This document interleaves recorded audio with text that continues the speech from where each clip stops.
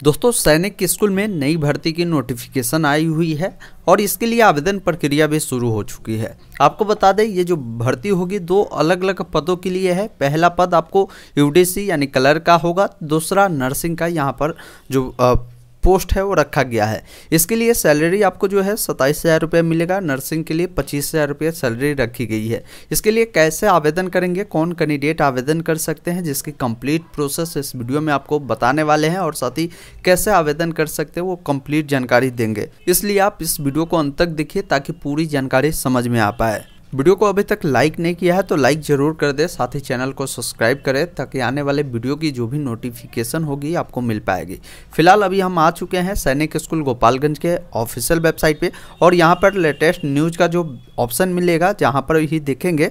यहाँ पर देखेंगे एक आपको ऑप्शन मिलेगा requirement UDC and nursing sister का आप इस पर क्लिक करके इस नोटिफिकेशन को आप डाउनलोड कर सकते हैं और वैकेंसी वाले डिटेल में आपको सारी जानकारी दी गई है। सारी जानकारी हमारे official website online update S T M dot in पर भी उपलब्ध कराई गई है। तो लेटेस्ट जॉब वाले सेक्शन में भी आप आएँगे। तो सैनिक स्कूल बहाली के बारे में आपको सारी जानकारी आपको दी गई है, जहाँ से आप सारी जानकारी हिंदी में आप समझ सकते हैं। तो आइए सारी जानकारी समझते हैं। इसके लिए आवेदन स्टार्ट है। आवेदन ऑफलाइन माध्यम से स्टार्ट की गई है और जो भी इच्छुक उम्मीदवार है जिनका उम्र 18 वर्ष है या उससे अधिक है और 50 वर्ष के बीच में है तो आप आवेदन प्रक्रिया को पूरा कर सकते हैं। आवेदन करने की जो अंतिम तिथि है किस तारीख तक रखी गई है। किस तारीख तक ही आपको आवेदन करनी होगी। अप्लीकेशन फ़ी भी आपसे ली जा रही है। Application fee general OBC other caste से अगर है तो 500 लगेगा एस सी वालों के लिए चार सौ रुपया लगेगा। पोस्ट के बारे में हम बात करें तो यहाँ पर अपर डिवीज़न क्लर्क यानी यूडीसी का पोस्ट है, जो कि क्लर्क का है, एक सीट है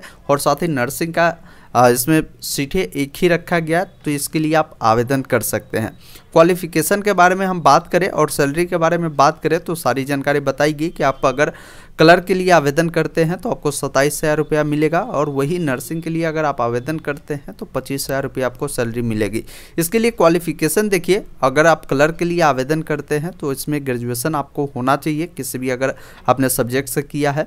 और दो सालों का आपका एक्सपीरियंस होना चाहिए, किसी ऑफ़िस में अगर आपने काम किया है या गवर्नमेंट ऑफ़िस हो या कॉमर्शियल ऑर्गेनाइजेशन है, उसमें अगर आपने काम किया है तो इसमें आपको मौका मिल सकता है। इंग्लिश का भी नॉलेज होनी चाहिए और साथ ही कंप्यूटर का नॉलेज जिसमें आपका एम एस वर्ड हो गया एक्सेल हो गया पावर पॉइंट की नॉलेज होनी चाहिए और टाइपिंग का भी आपके पास नॉलेज होनी चाहिए। इंग्लिश में बताया गया और हिंदी में पैंतीस है और इंग्लिश में चालीस रखा गया है। नर्सिंग के लिए बताया गया कि नर्सिंग में डिप्लोमा डिग्री होनी चाहिए, या नहीं तो आप डिप्लोमा इन जनरल नर्सिंग यानी आप जीएनएम भी किए हैं तो इसके लिए आवेदन आप कर सकते हैं। कैसे आवेदन करना है, वो सारी जानकारी हम आपको बताते हैं तो इसके लिए नोटिफिकेशन को आप चाहे तो यहाँ पर क्लिक करेंगे तो आपके सामने नोटिफिकेशन डाउनलोड होकर आ जाएगा, जिसमें भी आपको सारी जानकारी बताई गई, भर्ती से जुड़ी, जो अभी हमने आपको बताया।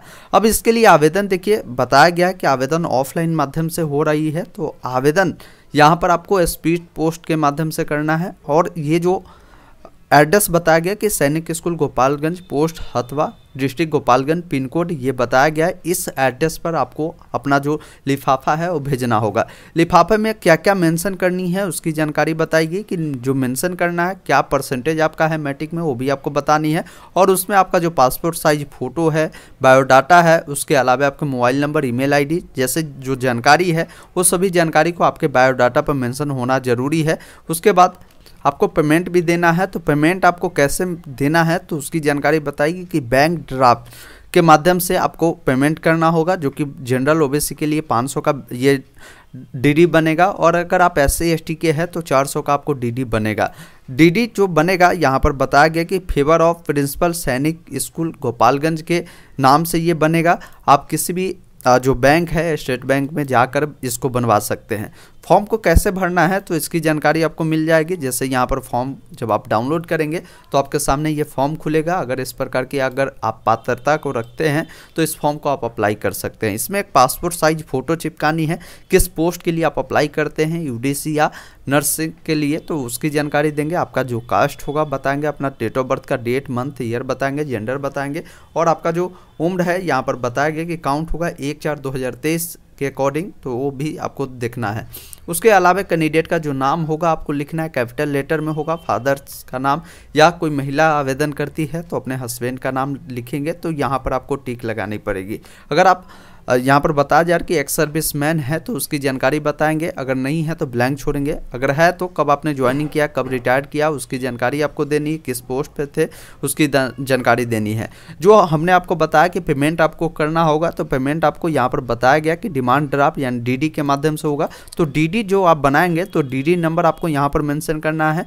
डेट मैंसन करना है, किस बैंक से आपने बनाया, किस ब्रांच से बनाया ब्रांच का कोड क्या है और कितना अमाउंट का बनाया, उसकी जानकारी आपको यहाँ पर डालनी होगी। साथ ही कैंडिडेट का जो एड्रेस होगा, वो एड्रेस डालना है, जैसे उनका नाम फादर या हस्बैंड का नाम, उनका जो फुल एड्रेस है, वो आपको यहाँ पर डालनी पड़ेगी। आपकी जो क्वालिफिकेशन होगी, दसवीं, बारहवीं, उसके अलावा ग्रेजुएशन का, अगर आपने एक्सपीरियंस कहीं से लिया है तो एक्सपीरियंस क्या है, उसकी सारी जानकारी आपको बताएँगे और सारी जानकारी को आपको स्पीड पोस्ट जो करना है इस फॉर्म के साथ, जो हमने आपको बताया कि स्पीड पोस्ट में आपका जो भी क्वालिफिकेशन होगी, वो जितने भी डॉक्यूमेंट होंगे, उनका जीरोक्स आपको लगानी है और जीरोक्स पे आपका सिग्नेचर होनी चाहिए। नीचे में आप सिग्नेचर लगाएँगे और एक चीज़ ध्यान रखेंगे नोटिफिकेशन में क्लियर बताया गया है कि जो लोग अगर इस लिफाफा को भेजेंगे तो एक लिफाफा आपको खाली भेजनी है ताकि आपका एडमिट कार्ड हो या इससे जुड़ी कोई भी अगर लगे उनको कि आपका सिलेक्शन करना चाहिए तो उसमें आपके जो डॉक्यूमेंट है सिलेक्शन लेटर हो एडमिट कार्ड हो, वो